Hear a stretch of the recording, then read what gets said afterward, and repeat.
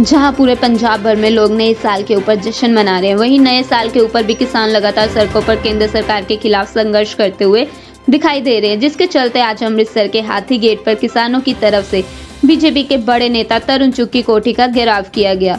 और किसानों का क्या कहना है वो आप खुद ही सुन लें ब्यूरो रिपोर्ट लाइव भारत ਮੈਂ ਜੀ ਜਰਮਨਜੀਤ ਸਿੰਘ ਬੰਡਾਲਾ ਜ਼ਿਲ੍ਹਾ ਸਕੱਤਰ ਕਿਸਾਨ ਮਜ਼ਦੂਰ ਸੰਘਰਸ਼ ਕਮੇਟੀ ਪੰਜਾਬ ਤੋਂ ਬੋਲ ਰਿਹਾ ਜੀ ਕੀ ਕਹਿਣਾ ਚਾਹੁੰਦੇ ਹੋ ਦੀ ਕੋਠੀ ਘੇਰੀ ਗਈ ਹੈ? ਅੱਜ ਤਰਨ ਚੋਕ ਜੀ ਜੋ ਭਾਜਪਾ ਦੇ ਵੱਡੇ ਲੀਡਰ ਨੇ, ਉਹਨਾਂ ਦੀ ਕੋਠੀ ਦੇ ਮੂਹਰੇ ਧਰਨਾ ਦੇ ਰਹੇ ਹਾਂ ਜੀ। ਇਹ ਪ੍ਰੋਗਰਾਮ ਜਿਹੜਾ ਵਾ, ਸੂਬਾ ਕੋਰ ਕਮੇਟੀ ਨੇ ਲਿਖਿਆ ਪ੍ਰੋਗਰਾਮ, ਜਿੱਥੇ ਅੱਜ ਸਾਡਾ ਰੇਲ ਰੋਕੋ ਪ੍ਰੋਗਰਾਮ 100ਵੇਂ ਦਿਨ ਦੇ ਵਿੱਚ ਸ਼ਾਮਲ ਹੋ ਚੁੱਕਾ ਵਾ।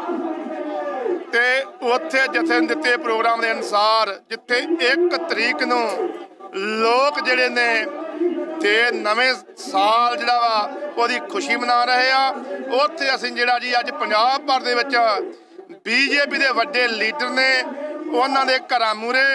ਔਰ ਜਿਹੜੇ ਕਾਰਪੋਰੇਟ ਘਰਾਂ ਨੇ, ਉਹਨਾਂ ਦੇ ਮਾਲ ਮੂਰੇ ਜੋ ਵੱਡੇ ਵੱਡੇ ਮਾਲ ਨੇ, ਉਹਨਾਂ ਦੇ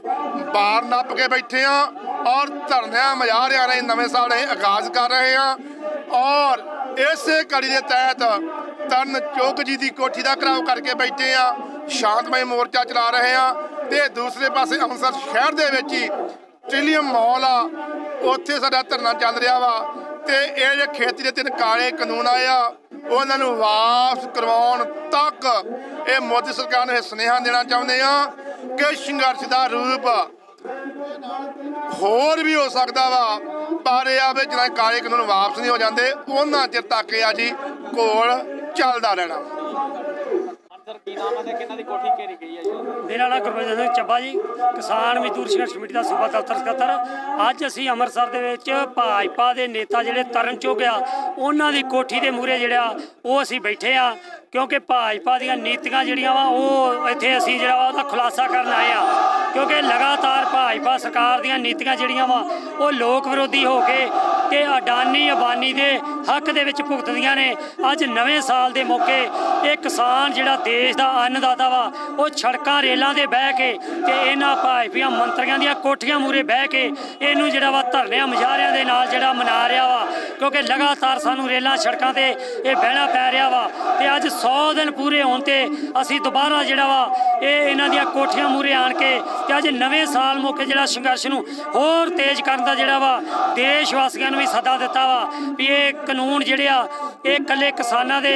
ਵਿਰੋਧ ਚ ਨਹੀਂਗੇ ਲਗਭਗ ਪੂਰੇ ਜਿਹੜੇ ਆ ਦੇਸ਼ ਦੇ ਲੋਕਾਂ ਦੇ ਵਿਰੋਧ ਚ ਨੇ। ਇਸ ਕਰਕੇ ਇਹਨਾਂ ਨੂੰ ਰੱਦ ਕਰਵਾਉਣ ਵਾਸਤੇ ਆਓ ਆਪਾਂ ਇਕੱਠੇ ਹੋ ਕੇ ਤੇ ਇਸ ਨਵੇਂ ਸਾਲ ਦੇ ਵਿੱਚ ਇਹਨਾਂ ਸੰਘਰਸ਼ਾਂ ਦੀ ਜਿਹੜੀ ਸ਼ੁਰੂਆਤ ਕਰਕੇ ਜਿਹੜੀ ਅਸੀਂ ਅੱਜ ਇੱਥੋਂ ਕਰ ਰਹੇ ਆ ਤੇ ਲਗਾਤਾਰ ਸਾਡਾ ਸੰਘਰਸ਼ ਜਿਹੜਾ ਵਾ ਉਹ ਅੱਗੇ ਵਧੂਗਾ। ਇਸ ਤਰ੍ਹਾਂ ਸਾਡਾ ਦਿੱਲੀ ਵੀ ਜਿਹੜਾ ਵਾ ਚੱਲ ਰਿਹਾ ਜੰਡਿਆਲਾ ਗੁਰੂ ਚ ਵੀ ਚੱਲ ਰਿਹਾ ਪੂਰੇ 100 ਦਿਨ ਹੋ ਗਏ ਆ ਤੇ ਦਿੱਲੀ ਵਾਲਾ ਮੋਰਚਾ ਵੀ ਸਾਡਾ ਸਿਖਰਾਂ ਤੇ ਜਾ ਰਿਹਾ ਵਾ ਲਗਾਤਾਰ ਜਿੱਤ ਵੱਲ ਵਧ ਰਿਹਾ ਵਾ। ਜਿਵੇਂ ਸਾਡੇ ਪਹਿਲੋਂ ਤਿੰਨ ਜਥੇ ਗਏ ਆ ਹੁਣ ਚੌਥਾ ਜਥਾ ਅਸੀਂ ਜਿਹੜਾ ਵਾ 12 ਜਨਵਰੀ ਨੂੰ ਅੰਮ੍ਰਿਤਸਰ ਤੋਂ ਜਿਹੜਾ ਵਾ ਉਹ ਤੋਰਾਂਗੇ ਤੇ ਜਿੰਨਾ ਚਿਰ ਸਾਡੇ ਜਿਹੜੇ ਬੇਲੇ ਵਾਪਸ ਨਹੀਂ ਹੁੰਦੇ ਇਹ ਸਾਡਾ ਸੰਘਰਸ਼ ਜਿਹੜਾ ਅੱਗੇ ਨਾਲੋਂ ਵੀ ਤੇਜ਼ ਹੋ ਕੇ ਤੇ ਅੱਗੇ ਵੱਲ ਨੂੰ ਵਧੇਗਾ ਜੀ। ਅੱਜ ਕਿਹੜੀ ਕਿਹੜੀ ਜਗ੍ਹਾ ਤੇ ਧਰਨਾ ਲੱਗਾ ਰਿਹਾ ਅੱਜ ਸਾਡਾ ਅੰਮ੍ਰਿਤਸਰ ਦੇ ਵਿੱਚ ਭਾਜਪਾ ਦੇ ਮੰਤਰੀ ਤਰਨ ਚੁੱਗ ਤੇ ਟ੍ਰਿਲੀਅਨ ਮਾਲ ਦੇ ਅੱਗੇ ਜਿਹੜਾ ਦੋ ਥਾਵਾਂ ਤੇ ਅਸੀਂ ਧਰਨਾ ਲਾਇਆ ਵਾ ਸਾਡੀ ਜਥੇਬੰਦੀ ਵੱਲੋਂ ਤੇ ਹੋਰ ਜਿਹੜੇ ਪੰਜਾਬ ਦੇ ਦੂਜੇ ਜ਼ਿਲ੍ਹਿਆਂ ਦੇ ਵਿੱਚ ਵੀ ਵੱਖ-ਵੱਖ ਸ਼ਹਿਰਾਂ 'ਚ, ਜਿੱਥੇ ਕਿਤੇ ਵੀ ਇਹਨਾਂ ਦੇ ਰਿਲਾਇੰਸ ਜੀਓ ਦੇ ਸ਼ਾਪਿੰਗ ਮਾਲ ਆ, ਭਾਜਪਾ ਮੰਤਰੀਆਂ ਦੇ ਘਰਾਂ ਘਰ ਉੱਥੇ ਉੱਥੇ ਸਾਡੇ ਘਰਾਓ ਧਰਨੇ ਚੱਲ ਰਹੇ ਆ ਜਥੇ ਮਾਰਚ ਵੀ ਹੋ ਰਹੇ ਆ, ਪੁਤਲੇ ਵੀ ਫੂਕੇ ਜਾ ਰਹੇ ਆ, ਅਸੀਂ ਵੀ ਅੱਜ ਇੱਥੇ ਡਾਨੀਆਂ ਬਾਨੀਆਂ ਦਾ ਤੇ ਮੋਦੀ ਦਾ ਪੁਤਲਾ ਜਿਹੜਾ ਵਾ, ਹਾਥੀ ਗੇੜ ਚੌਂਕ ਦੇ ਵਿੱਚ ਜਿਹੜਾ ਵਾ, ਵਾਪਸੀ ਤੇ ਜਿਹੜਾ ਵਾ ਫੂਕ ਕੇ ਫੇਰ ਘਰਾਂ ਨੂੰ ਜਾਵਾਂਗੇ ਇਹ ਲਗਾਤਾਰ।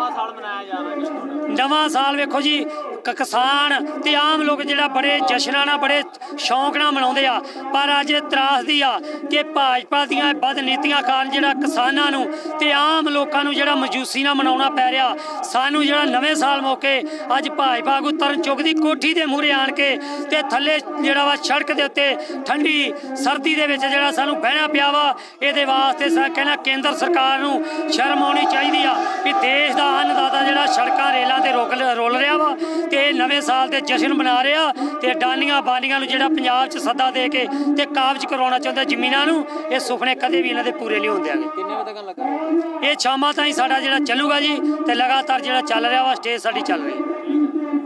ਬੇਔਲਾਦ ਜੋੜਿਆਂ ਦੇ ਲਈ ਵਰਦਾਨ ਮੈਡੀਕੋਮ ਆਯੁਰਵੈਦਿਕ ਸੈਂਟਰ ਅੰਮ੍ਰਿਤਸਰ। ਕੱਟ ਸ਼ੁਕਰਾਂ ਨੂੰ ਢਿੱਲਾਪਨ गर्भ का ना ठहरना जिया बीमारियों का शर्ती इलाज। बेसिकली आज की डेट में 50 से 60 परसेंट लोग जो माँ बाप नहीं बन पा रहे वो सिर्फ़ इसी वजह से हैं कि उसमें एक बहुत बड़ा फैक्टर है इनएक्टिव खान पान की वजह से स्पर्म्स काउंटिंग की कमी होना। निराश हो चुके जोड़े एक बार ज़रूर संपर्क कर। Medicom Ayurvedic centre Amritsar.